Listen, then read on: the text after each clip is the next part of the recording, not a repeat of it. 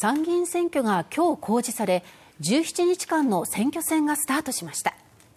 消費税率引き上げの是非や年金問題そして改憲勢力が参議院で3分の2の議席を維持するかどうかが焦点です。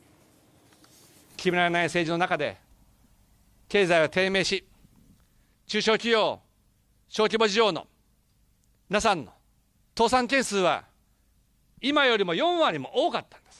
あの時代に逆戻りするわけにはいきません。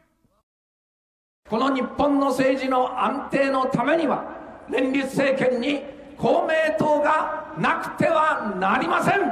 政治に大事な要素は国民の皆様の声を聞く政治を進めるということであります。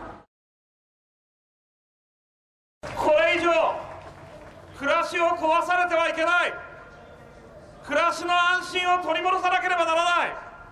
暮らしを守る。生活を防衛する。そのための夏の戦いに皆さんしていこうではありませんか。まず何よりも家計を豊かにすることによってそして GDP の6割を占めるこの消費を盛り上げる。消費を軸とした好循環を回す。この経済政策に変えていこうではありませんか皆さん。税金の在り方を決めるのは安倍首相じゃありません。主権者である国民の皆さんです。共産党伸ばしに伸ばしていただいて10%は必ず止めようじゃありませんか。今の時点で増税をするなんていうのはこれはもう国民の皆さんに負担をこれからも押し付けていく安易な増税なんです。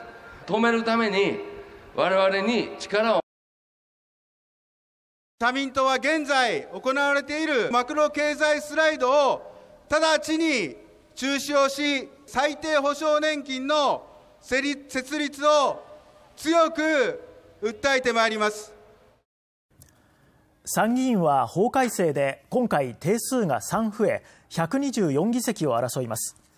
投開票は21日です。